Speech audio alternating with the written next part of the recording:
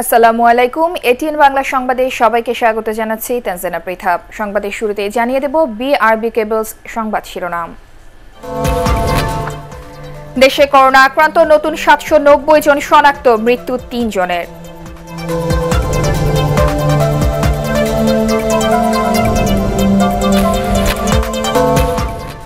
রাজধানীতে করোনায় পুলিশের আরও এক সদস্যের মৃত্যু, উপসর্গ নিয়ে মারা গেলেন সাংবাদিক সিলেটে ষোলো ইন্টার্ন চিকিৎসক সহ আঠাশ স্বাস্থ্যকর্মী আক্রান্ত। স্বাস্থ্যবিধি মেনে কাল থেকে মসজিদে নামাজ পড়তে পারবেন মুসল্লিরা, ধর্ম মন্ত্রণালয়ের বিজ্ঞপ্তি।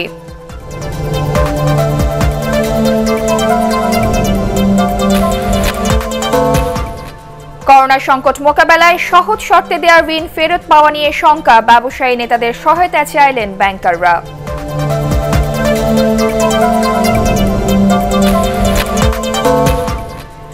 এবং প্রায় অকার্যকর ঘরে থাকার সরকারি নির্দেশনা, লকডাউন ভেঙে রাজধানীমুখী মানুষের ঢল, গাজীপুরে গার্মেন্টস কর্মীদের বিক্ষোভ। এবারে বিস্তারিত সংবাদ। দেশে আরও সাতশো নব্বই জনের শরীরে করোনা ভাইরাস শনাক্ত হয়েছে। এ নিয়ে মোট আক্রান্তের সংখ্যা দাঁড়াল এগারো হাজার সাতশো উনিশ। এছাড়া এ ভাইরাসে আক্রান্ত হয়ে মারা গেছেন আরও তিনজন। স্বাস্থ্য অধিদপ্তরের অনলাইন বুলেটিনে এসব তথ্য জানানো হয়। সংস্থাটির অতিরিক্ত মহাপরিচালক নাসিমা সুলতানা জানিয়েছেন, শারীরিকভাবে অক্ষম ব্যক্তিদের বাড়ি গিয়ে নমুনা সংগ্রহ করা হবে। বিস্তারিত একরামুল হক সাইমি রিপোর্টার দেশে করোনা আক্রান্তের সংখ্যা প্রায় প্রতিদিনই ছাপিয়ে যাচ্ছে আগের দিনের রেকর্ড। করোনা শনাক্তের নমুনা পরীক্ষা যেমন বাড়ছে, তেমনি বেড়ে চলেছে করোনা পজিটিভের সংখ্যাও। সবশেষ চব্বিশ ঘন্টায় ছয় হাজার দুশো একচল্লিশ জনের নমুনা পরীক্ষা করে সাতশো নব্বই জনের শরীরে করোনা শনাক্ত হয়। দেশে করোনা সংক্রমণের ষাট দিনে প্রায় এক লাখ নমুনা পরীক্ষা করে গড়ে শতকরা বারো জন করোনা পজিটিভ হয়েছে। পরীক্ষা হয়েছে ছয় হাজার দুইশো একচল্লিশটি, যা গতদিনের তুলনায় নয় দশমিক দুই আট শতাংশ বেশি। এবং এ পর্যন্ত নমুনা সংগৃহীত নমুনা পরীক্ষা হয়েছে নিরানব্বই হাজার ছয়শো ছেচল্লিশটি। সবশেষ চব্বিশ ঘন্টায় করোনা ভাইরাসে প্রাণ হারিয়েছেন আরও তিনজন। সরকারি হিসাবে এ ভাইরাসে আক্রান্ত হয়ে এ পর্যন্ত মারা গেছেন একশো ছিয়াশি জন। তিনজন মৃত্যুবরণ করেছেন। তাদের মধ্যে দুইজন পুরুষ একজন মহিলা। দুজনের বয়স ষাটোর্ধ এবং একজনের বয়স একচল্লিশ থেকে পঞ্চাশের মধ্যে। স্বাস্থ্য অধিদপ্তরের অতিরিক্ত মহাপরিচালক নাসিমা সুলতানা জানান এলাকা ভিত্তিক বুথ খোলার পাশাপাশি বাড়ি বাড়ি গিয়েও নমুনা সংগ্রহের কার্যক্রম অব্যাহত রয়েছে।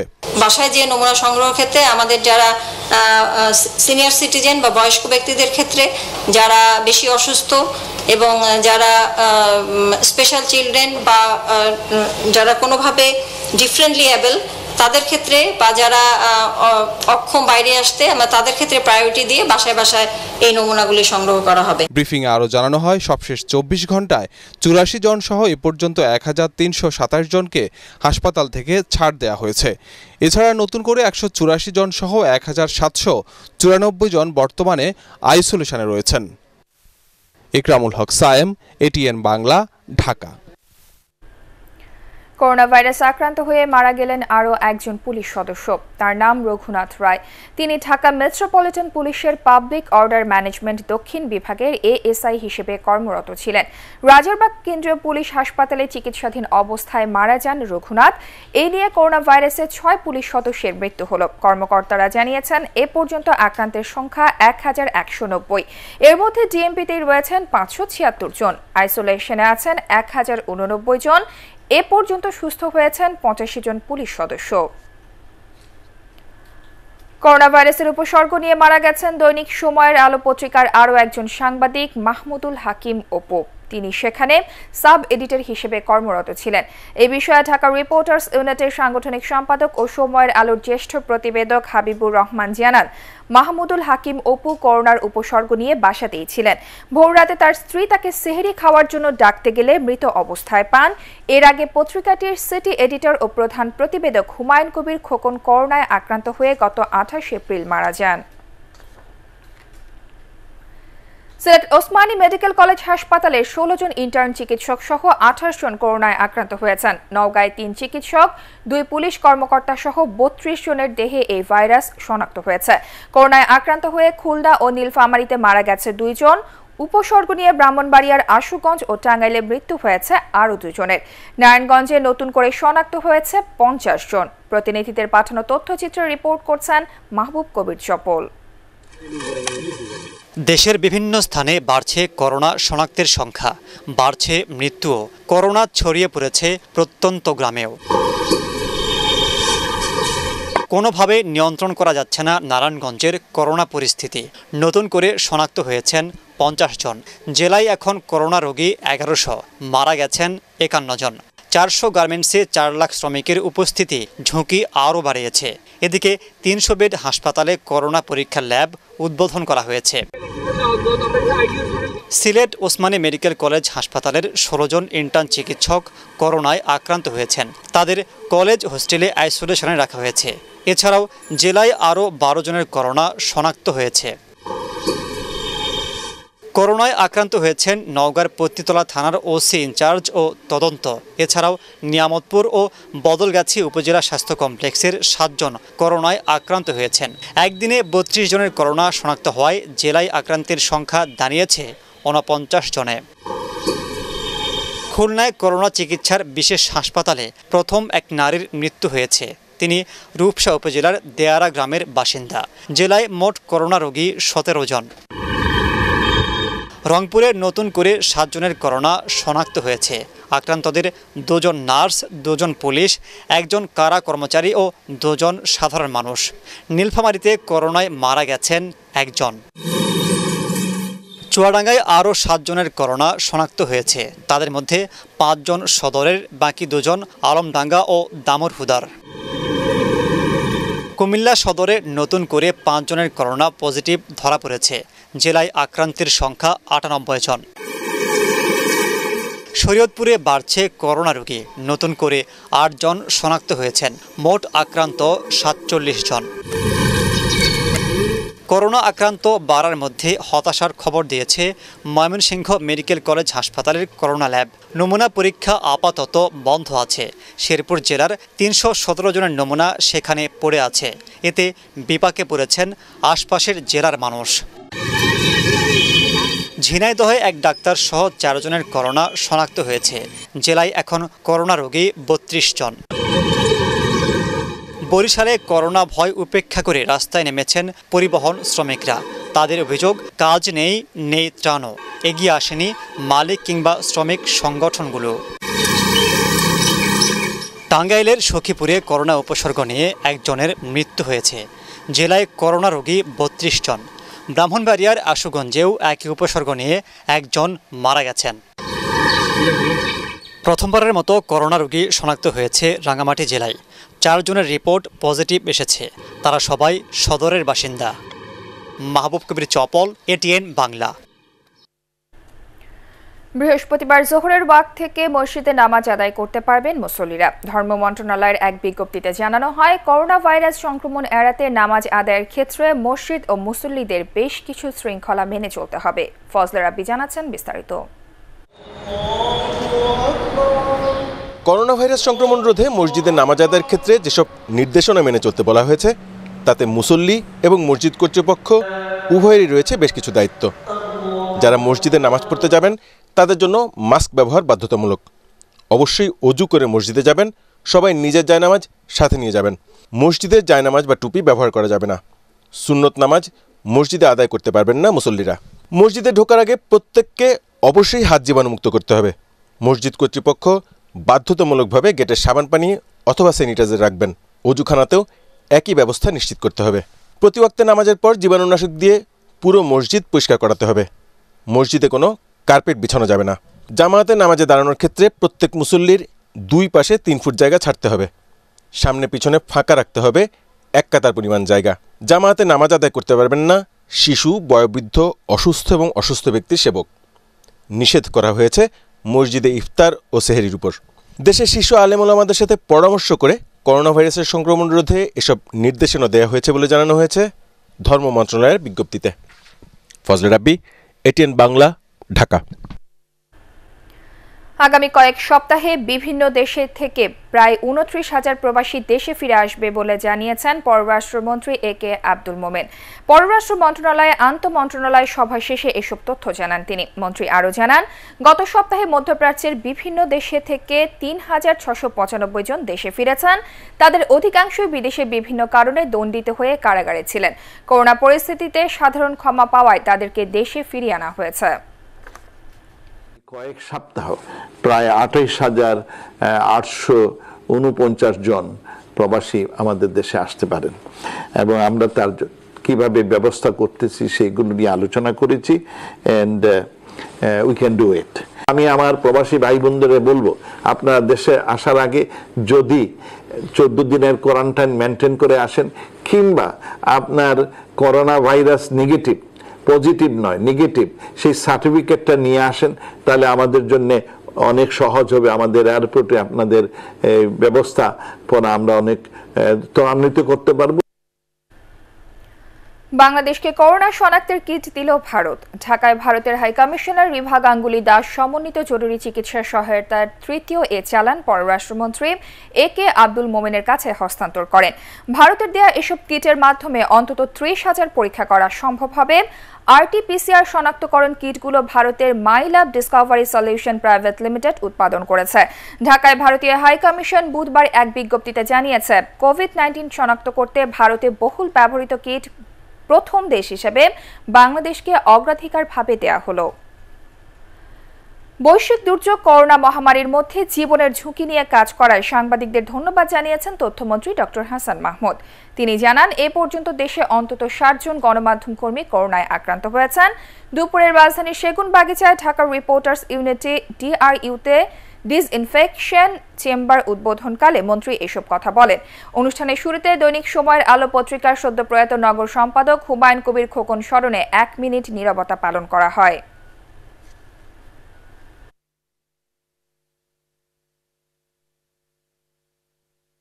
এই ক্রান্তিকালে সাংবাদিক ভাই বোনেরা সাংবাদিক বন্ধুরা অত্যন্ত ঝুঁকি নিয়ে কাজ করছে। সব কিছু লকডাউন হলো সাংবাদিকদের কাজকর্ম লকডাউন হয়নি। তারা কাজ করছে এবং সংবাদ পরিবেশন করছে। সেই কারণে ইতিমধ্যে ষাট জনের বেশি সাংবাদিক ভাই ভাই বোন আক্রান্ত হয়েছে করোনা ভাইরাসে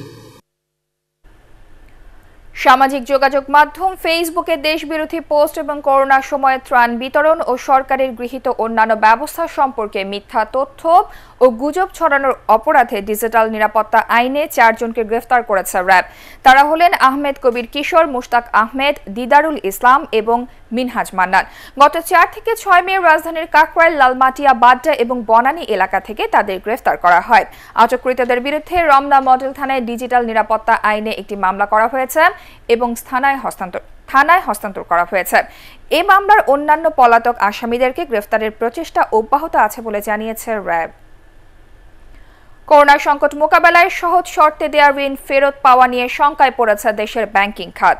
দুর্যোগ শেষে ঠিক সময়ে ঋণ ফেরত পেতে দেশের শীর্ষ ব্যবসায়ী সংগঠনের সহায়তা চেয়েছেন ব্যাংকাররা। এসব বিষয় নিয়ে ব্যবসায়ী নেতাদের সাথে ব্যাংকের শীর্ষ কর্মকর্তাদের একটি অনলাইন সভা আজ অনুষ্ঠিত হয়।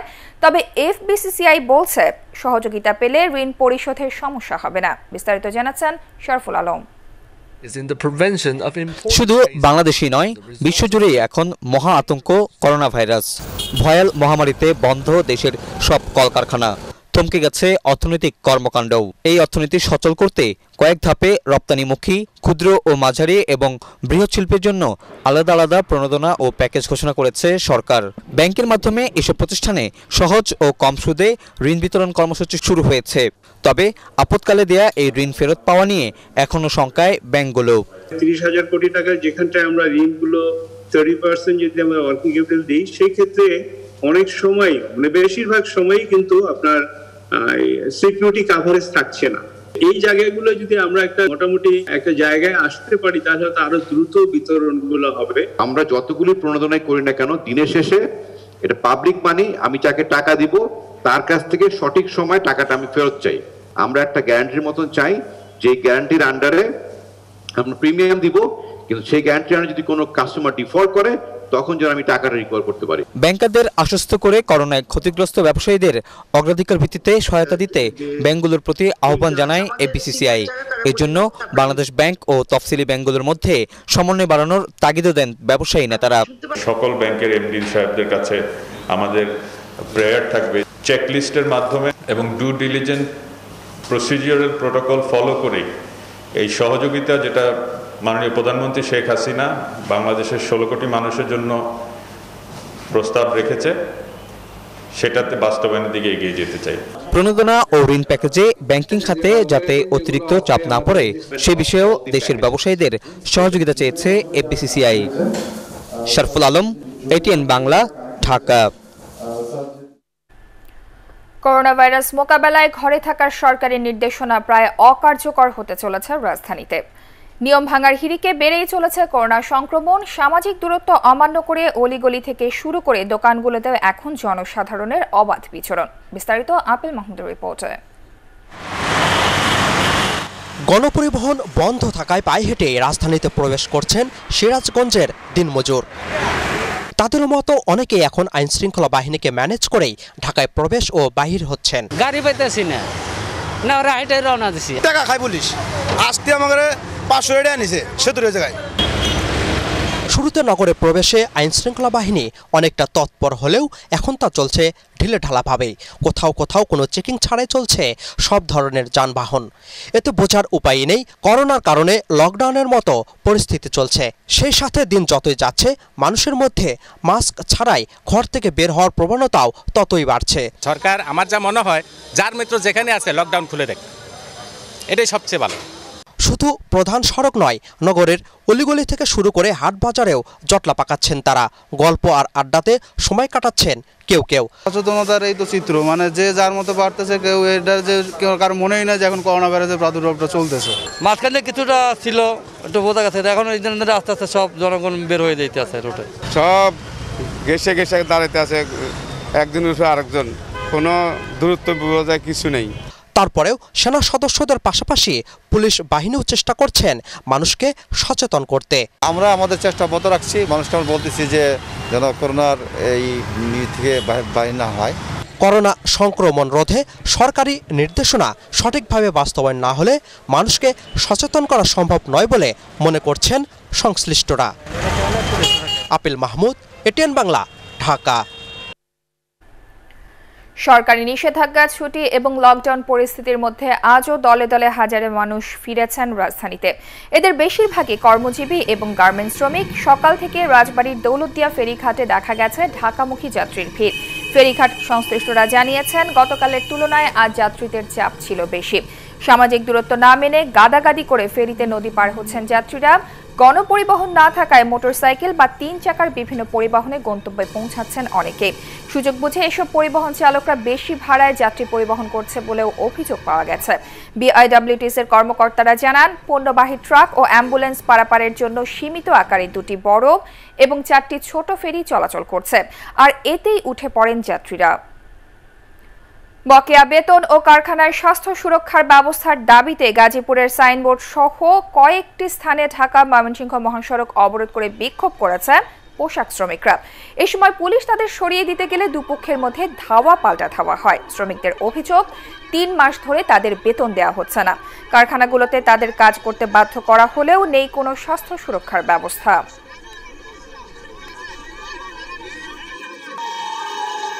মালিক পক্ষ বলছিল যে আমাদের যারা ডিউটি করতেছে তাদের ফুল টাকা বেতন তো আমরা ডিউটি হান্ড্রেড পার্সেন্ট দেবে তার জন্য আমরা ডিউটি করছি। কিন্তু আজকে যে বলতেছে যে আমাদের সিক্সটি পার্সেন্ট বেতন আমরা সেটা মানি না আমরা পুরো ফুল বেতন চাই। ক্যাম্পাস বন্ধ থাকলেও সব ধরনের ফি আদায়ে চাপ দিচ্ছে বেসরকারি বিশ্ববিদ্যালয়গুলো। শিক্ষার্থীদের উপর চাপিয়ে দেওয়ার চেষ্টা করছে অনলাইনে ক্লাস পরীক্ষা এবং পরবর্তী সেমিস্টারের ভর্তি।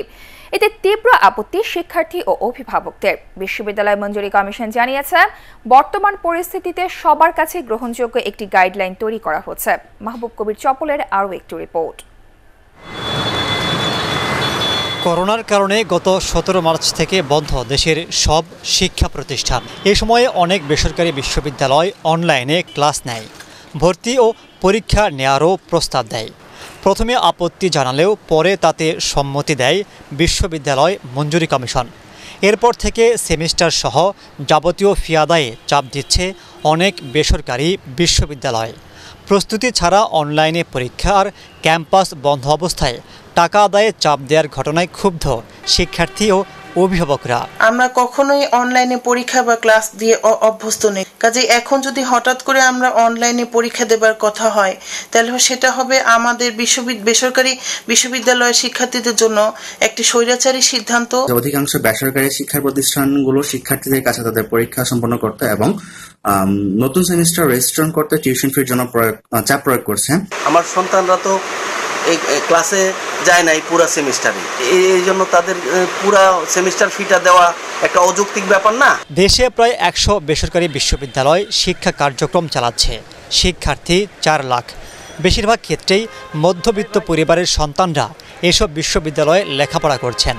করোনার মধ্যে তাদের উপর এ ধরনের চাপ দেয়ায় প্রশ্নের সৃষ্টি হয়েছে। তবে বিশ্ববিদ্যালয় কর্তৃপক্ষ তা খুব একটা আমলে নিচ্ছেন না। এখন থেকে অনলাইনে সমস্ত শিক্ষা কার্যক্রম চলবে। প্রত্যেকটা ইউনিভার্সিটির এই ক্যাপাসিটি আছে। নাই, এটা ভুল কথা। কম বেশি। ছাত্রদের থেকেই বেতনটা নিয়ে এক টাকাটা খরচ হয় কোথায়? খরচ হয় হলো শিক্ষকদের বেতন কর্মকর্তা, কর্মচারীদের বেতন এবং ইউনিভার্সিটির ডেভেলপমেন্ট আমরা তো আমাদের পকেটে করে আনি না, বরং আমরা আরও পকেট থেকে দিতে হয়। এ অবস্থায় অনলাইনে শিক্ষা কার্যক্রম নিয়ে গাইডলাইন তৈরি করছে ইউজিসি তবে শিক্ষার্থীদের উপর যাতে চাপ না পড়ে সে বিষয়ে সবচেয়ে বেশি গুরুত্ব দেওয়ার কথা জানিয়েছে প্রতিষ্ঠানটি।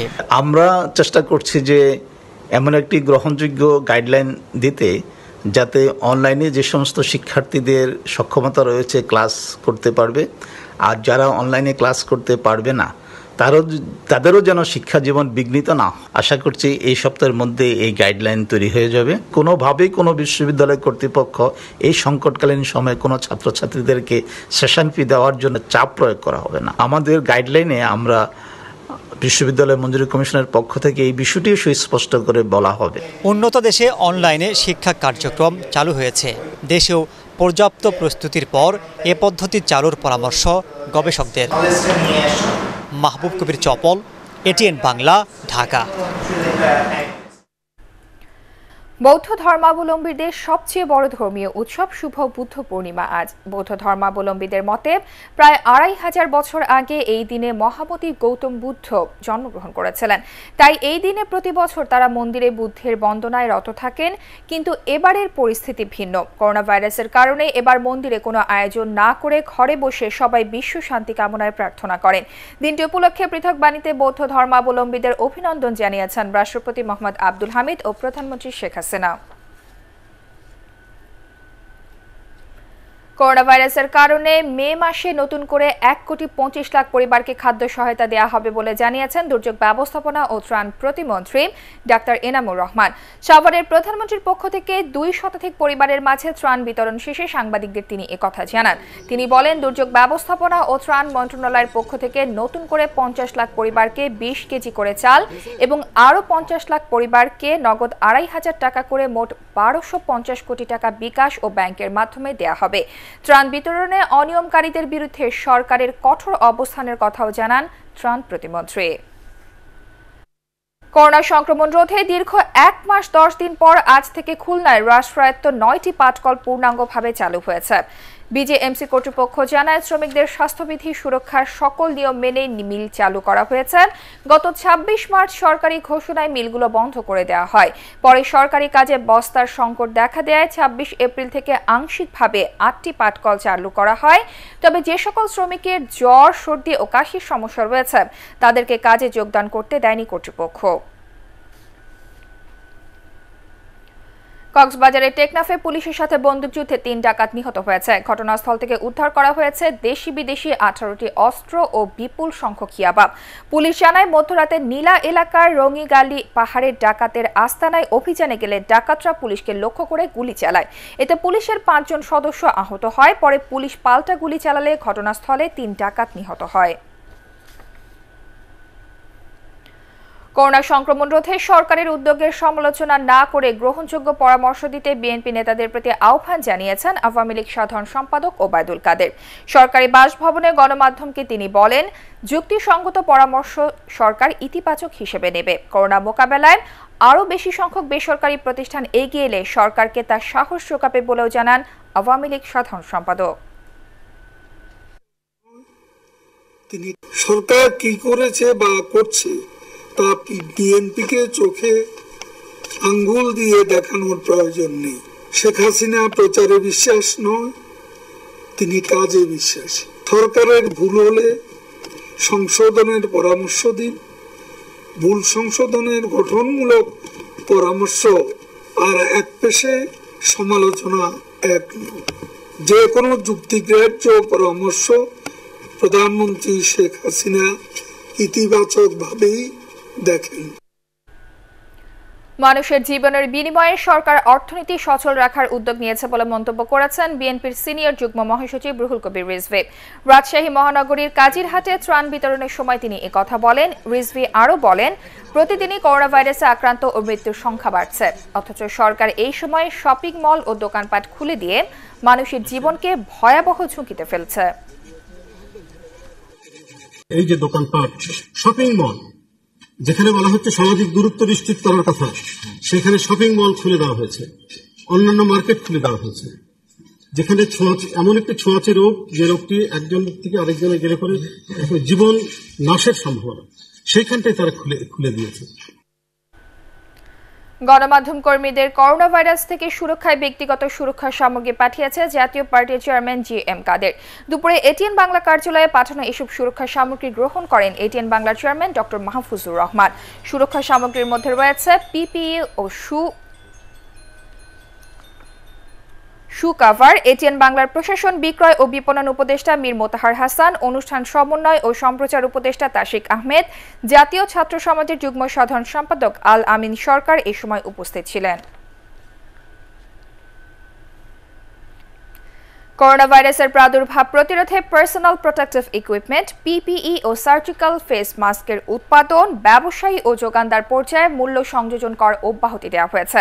আগামী ত্রিশ জুন পর্যন্ত এ কর হতে অব্যাহতি পাবেন উৎপাদক, ব্যবসায়ী ও যোগানদাররা। বুধবার এ কর অব্যাহতি দিয়ে নির্দেশনা জারি করে জাতীয় রাজস্ব বোর্ড এনবিআর ঢাকা পাঁচ আসনের সংসদ সদস্য হাবিবুর রহমান মোল্লার দাফন সম্পন্ন হয়েছে। বুধবার বাদাসর মাতোয়াইল ঈদগাহ মাঠে তার নামাজে জানাজা হওয়ার পর সেখানকার কেন্দ্রীয় কবরস্থানে তাকে দাফন করা হয়। দলীয় নেতাকর্মী সহ বিভিন্ন শ্রেণি পেশার মানুষ জানাজায় অংশ নেন। বীর মুক্তিযোদ্ধা হাবিবুর রহমান মোল্লাকে রাষ্ট্রীয় মর্যাদায় শেষ বিদায় জানানো হয়। সকালে রাজধানীর একটি বেসরকারি হাসপাতালে চিকিৎসাধীন অবস্থায় তার মৃত্যু হয়। কিডনি ও হৃদরোগে প্রায় এক মাস যাবৎ তিনি ওই হাসপাতালে চিকিৎসা নিচ্ছিলেন। প্রবীণ এই আওয়ামী লীগ নেতার মৃত্যুতে শোক জানিয়েছেন রাষ্ট্রপতি ও প্রধানমন্ত্রী। পবিত্র রমজান উপলক্ষে আটশো অসহায় ও দুস্থ পরিবারের মাঝে খাদ্য সহায়তা দিয়েছেন আওয়ামী লীগ নেতা ও খিলগাঁও গভর্নমেন্ট কলোনি হাই স্কুলের সভাপতি শাহাদাত হোসেন সাদু। প্রধান অতিথি ছিলেন ঢাকা মহানগর দক্ষিণ আওয়ামী লীগের সভাপতি আলহাজ বীর মুক্তিযোদ্ধা আবু আহমেদ।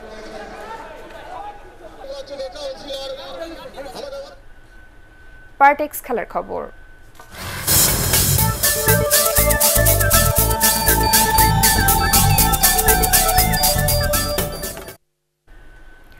আন্তর্জাতিক টি টোয়েন্টি ক্রিকেটের সর্বকালের সেরা একাদশে ঠাঁই পেয়েছেন বাংলাদেশের allrounder Shakib Al Hasan. T twenty ক্রিকেটের পনেরো বছরের ইতিহাসে যেসব তারকা ক্রিকেটার বাইশ গজে আলো ছড়িয়েছেন, তাদের মধ্য থেকে সর্বকালের সেরা একাদশ বাছাই করেছে ক্রীড়াভিত্তিক সংবাদ মাধ্যম স্পোর্টস থ্রি সিক্সটি। ফিলিপাইনের এই সংবাদ মাধ্যমটির বাছাই করা সেরা একাদশের অন্য সদস্যরা হলেন Aaron Finch JP Duminy Rohit Sharma Virat Kohli Brendon McCullum Shahid Afridi Shoaib Malik Rashid Khan Umar Gul ও লাসিত মালিঙ্গা দলটির অধিনায়ক করা হয়েছে বিরাট কোহলিকে।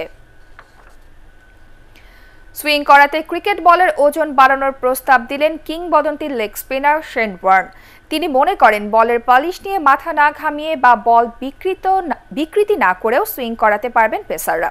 শেনওয়ার্ন বলেন, সুইং করানোর জন্য বলের একটা দিকের ওজন বাড়িয়ে দেওয়া যেতে পারে। তাহলে বল সুইং করায় সমস্যা থাকবে না। ব্যাপারটা অনেকটা টেনিস বলের টেপ জড়ানোর মতো হবে। করোনা ভাইরাস মহামারীর কারণে থুথু দিয়ে বল পালিশ করার উপরে নিষেধাজ্ঞা জারির চিন্তা ভাবনা করছে আইসিসি। আগামী পনেরো মে থেকে বুন্দেসলিগা শুরু করার অনুমতি দিয়েছে জার্মান সরকার। German chancellor Angela Merkel Bundesliga শুরুর অনুমতি দেন, তবে বুন্দেসলিগা ফিরলেও এখনই মাঠে দর্শক প্রবেশের অনুমতি দেওয়া হচ্ছে না। এর আগে করোনা ভাইরাসের প্রভাবে গত আট মার্চ থেকে স্থগিত ছিল জার্মান বুন্দেসলিগা। কিলিয়ান এমবাপেকে ধরে রাখতে নতুন চুক্তির প্রস্তাব দিয়েছে প্যারিস সেন্ট জার্মাই এতে এই ফরাসি তারকার সাপ্তাহিক বেতন এক লাফে দ্বিগুণ হয়ে যাবে। এখন সপ্তাহে তিন লাখ পাউন্ড বেতন পান এমবাপে নতুন চুক্তিতে বেতনের পরিমাণ হবে ছয় লাখ পাউন্ড। এমবাপেকে দলে নিতে রিয়াল মাদ্রিদ ও লিভারপুল মরিয়া হয়ে উঠেছে। ধারণা করা হচ্ছে, সেই সম্ভাবনা ঠেকাতে এমবাপের সাপ্তাহিক বেতন দ্বিগুণ করার প্রস্তাব দিয়েছে পিএসজি। এবারে জানিয়ে দেব সেহরি ও ইফতারের সময়সূচি।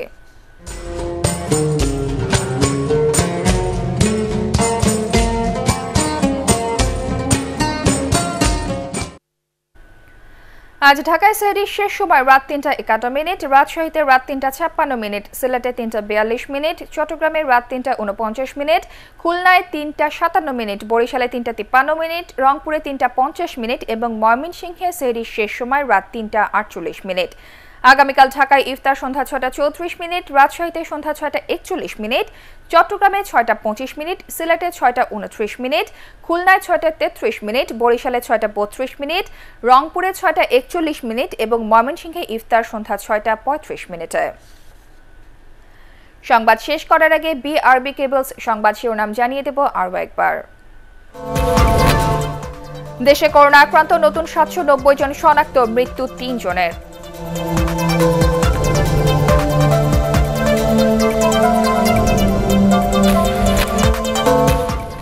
রাজধানীতে করোনায় পুলিশের আরও এক সদস্যের মৃত্যু। উপসর্গ নিয়ে মারা গেলেন সাংবাদিক, সিলেটে ষোলো ইন্টার্ন চিকিৎসক সহ আঠাশ স্বাস্থ্যকর্মী আক্রান্ত।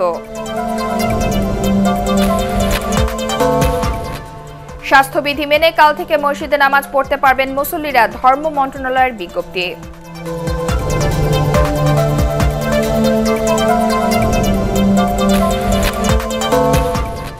করোনা সংকট মোকাবেলায় সহজ শর্তে দেওয়া ঋণ ফেরত পাওয়া নিয়ে শঙ্কা। ব্যবসায়ী নেতাদের সহায়তা চাইলেন ব্যাংকাররা।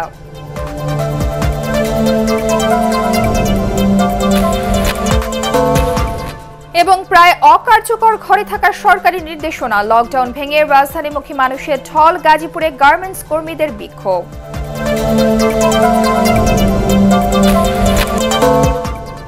এই ছিল এখনকার সংবাদ। পরবর্তী সংবাদ দেখার আমন্ত্রণ জানিয়ে শেষ করছে। দর্শক, আপনারা সবাই ঘরে থাকুন, নিরাপদে থাকুন। আর এটিএন বাংলা সংবাদ ইউটিউবে দেখতে ব্রাউজ করুন YouTube slash ATN Bangla news ধন্যবাদ সবাইকে।